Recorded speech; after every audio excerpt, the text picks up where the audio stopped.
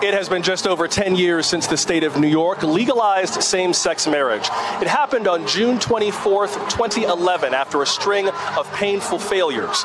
New York's Marriage Equality Act passed the Republican controlled Senate 33 to 29. Governor Andrew Cuomo signed the bill into law at five minutes to midnight. Celebrations poured into the streets here in New York City, including right here in front of the Stonewall Inn where we are tonight. Now, the law took effect one month later. More than 800 couples tied the knot on the very first day.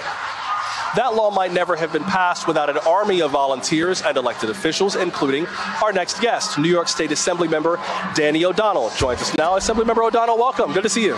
Thank you, Joshua. It's a pleasure to be here. What do you remember most from the fight to pass that Marriage Equality Act here in New York? Uh, that it took five years, that my house passed it three times before it went to the Senate, and it, it took people all across the state communicating with their elected officials about what they need.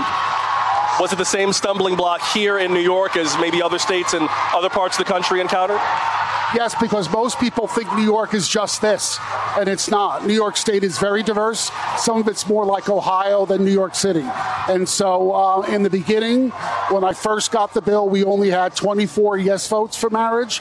Two months later, we put it on the floor. 85 people voted yes when you were writing letters to your colleagues to try to get support for this at the time, you would end with a message from you and your partner at the time writing, John and I thank you for taking the time to consider this. I can only imagine how important it was for you personally at the time to see this become law. Uh, it was very personal. John and I have been together for over 40 years. It's a very long time. It's like 80 years for straight people. And we uh, deserve the right to be treated equally under the law. Um, I knew when I got to Albany if I wanted my relationship to be treated equally, I had to show that relationship to my colleagues. Um, and I did. And I used every tactic I could th- think of to get them to vote yes the objections that you heard at the time, the things that people said to you then, how do you think those folks would reflect on their objections today, 10 years after this has become law? The sky clearly has not fallen in New York. Well, when I finally met President Obama before he changed his mind, I told him that not a single heterosexual was harmed during my wedding. and the picture of me and him is him laughing very much. The reality is, I don't want a religious ceremony. I want a piece of paper. The government gives us a piece of paper, and not a bad thing has happened anywhere in America because we have the same rights as everybody else. New York State has continued to pass more equality uh, legislation in the state. Just recently, the state passed and Governor Cuomo signed into law a measure that would allow people to change their vital statistics forms to conform with their gender identity and to do so more privately without there being a, a notice in the newspaper saying that this person was trying to change a vital statistics document. What more needs to be done here in New York State, in your view? Well, last year I passed the bathroom access bill. This year I passed uh, the gender recognition uh, law, and they both are very important. But the truth is, those members of our community who are trans are most at threat. They're most likely to get beat up or die.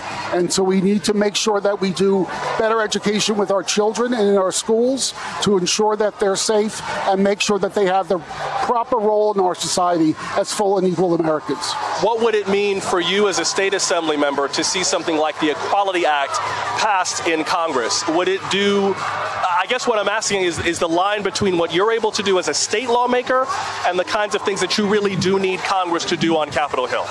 It always helps when Congress does it. It gives a sense of relief and calmness to the local legislators who may be nervous. And we heard a lot of nervousness in, in 2007, 2011. That nervousness is gone.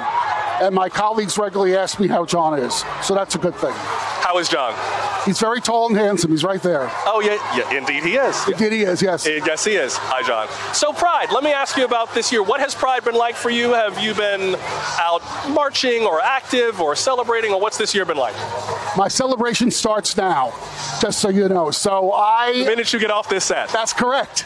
Okay. And I get to be with my people. Yes, this is the first time in 20 plus years I didn't march. Um, and when we were planning it, it was before COVID was resolved, we Yeah. weren't sure what was going to happen.